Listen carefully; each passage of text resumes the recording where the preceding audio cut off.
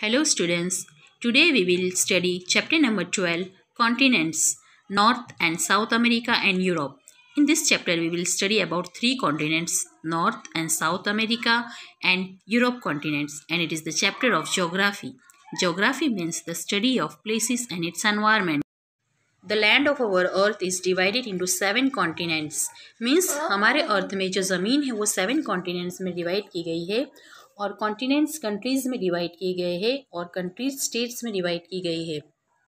Now let's study about the continent North America this is the image of our earth here you can see the earth is divided into seven continents shown by different colours now we will study about North America which is shown in green blinking area ये आप जो figure देख रहे हैं, वो seven continents के है। अभी हम नॉर्थ अमेरिका के बारे में पढ़ेंगे।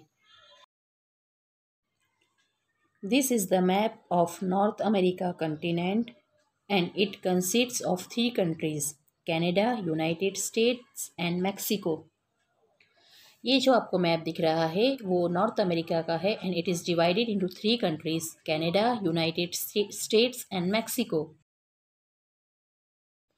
North America extends from the Arctic Ocean in the north to Panama in the south. North America north में आर्टिक ओशियन से लेकर साउथ में पनामा तक फैला हुआ है in this figure you can see north pole is shown by red blinking dot tropic of cancer is shown by green blinking line and mexico is shown by orange blinking North Pole passes from the north of Canada. In the same way, the Tropic of Cancer passes through central Mexico. Canada के north में north pole of earth है वैसे ही Mexico के centre से tropic of Cancer pass होता है North America is spread over 2.44 lakh square kilometre means North America का जो लैंड एरिया है वो 2.44 लैख स्क्वायर किलोमीटर तक फैला हुआ है। It's cover sixteen percentage of the land area of the world और वो वर्ल्ड में जितना भी टोटल लैंड एरिया है, उसमें से सिक्सटीन परसेंटेज नॉर्थ अमेरिका ने कवर किया है। The natives are known as Red Indians वहाँ के पीपल को रेड इंडियंस कहते हैं।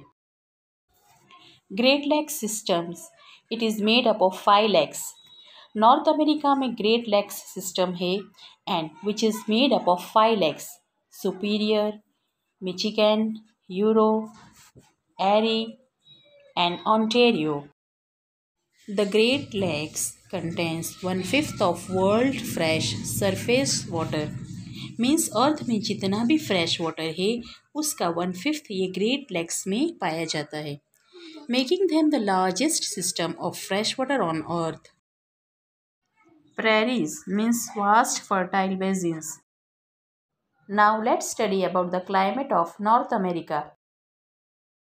The climate of North America varies dramatically.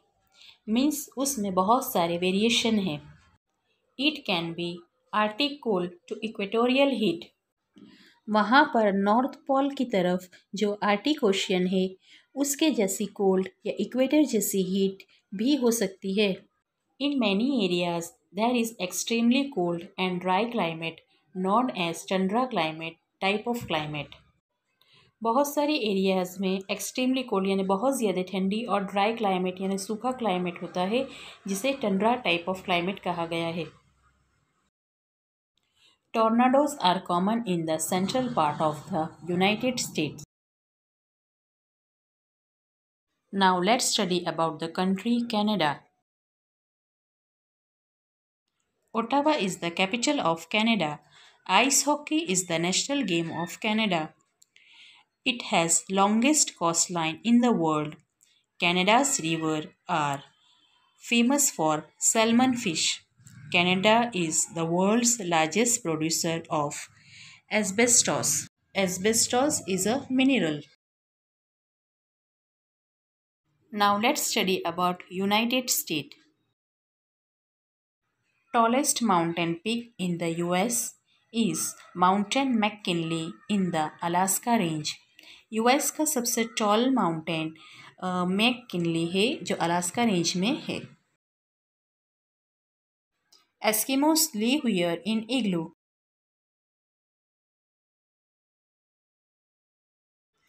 this type of house is known as igloo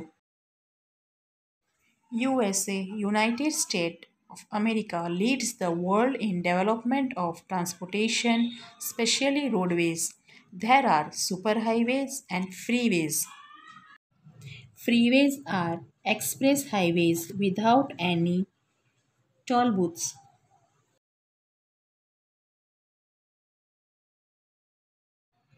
Now let's study about the continent South America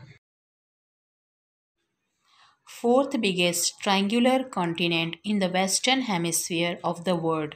It covers 13% of the total land area of the world. ये continent ने 13 percent का land cover किया है Andes is the world's highest mountain range outside of Asia pink blinking line is shown is the Andes mountain. It is 6,000 meter high mountain. South America has over 200 volcanoes and Ecuador is one of the many countries that has most volcanoes.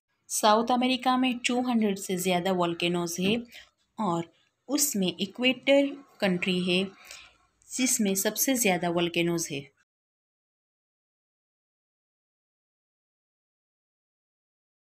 Chimborazo is the example of inactive volcano and Cotopaxi is an example of active volcano.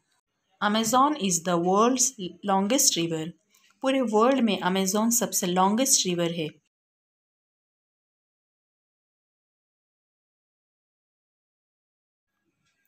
Titicaca lake is the largest fresh water lake of Bolivia 275 hundred seventy five metres deep it is the highest lake ये सबसे highest lake है Now let's study about the climate, vegetation and the wildlife of South America.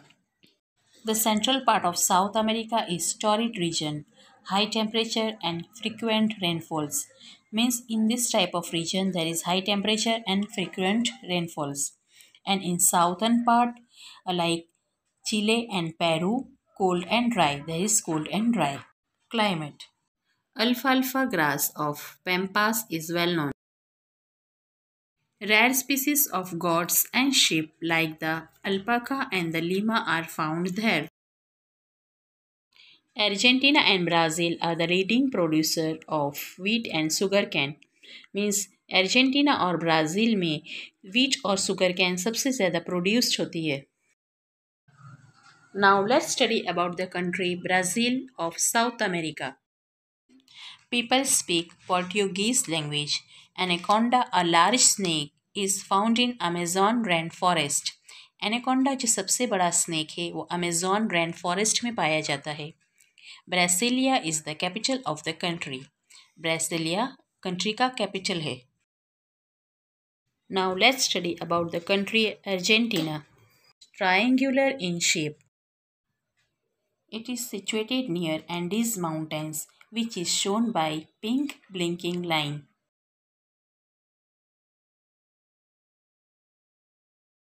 Argentina is triangular in shape. People speak Spanish. Its capital is Buenos Aires. Now let's study about the continent Europe. Biggest peninsula of the world separated from the Asia by the Ural mountain. Peninsula means the land covered with the water. It is spread over 16 lakh square kilometer and 64 crore people live in this continent. Rhine, Volga, Danube are the main rivers. Norway and Sweden, located to north of Europe, has grey soil, while southern Europe has dark brown Chernozem soil. Now let's study about the country Russia of Europe. Moscow is the capital of Russia. 25% of the total production of wheat of the world is produced in Russia. Means 25% wheat का total produce Russia में होता है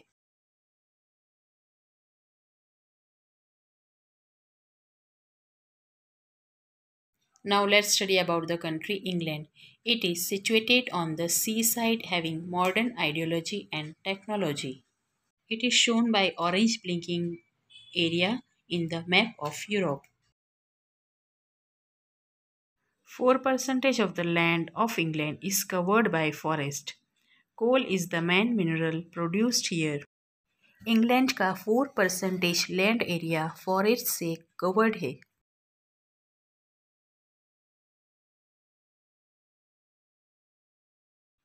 Now let's study about the country France of Europe. Paris is the capital of France. It is shaped like hexagon. The shape you can see is hexagon figure.